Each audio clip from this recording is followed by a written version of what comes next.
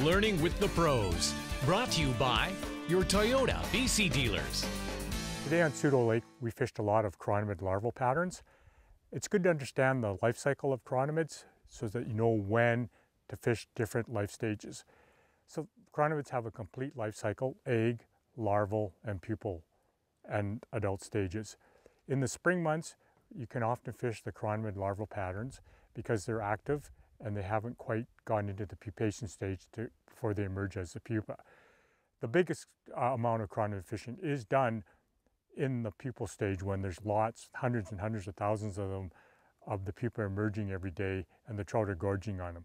However, there are chironomid species that have more than a one-year life cycle, so you can have good chironomid larval fishing during the hot or warm summer months because those larvae are going to live until the following summer before they emerge. And that's what we're doing today. We're taking advantage of larvae that were maturing but not going to emerge into the chironomid pupa until the following year.